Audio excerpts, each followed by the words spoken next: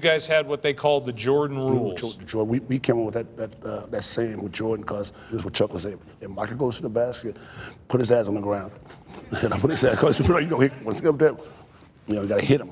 You got to hit him. I mean, every time he went to the basket, we hit him.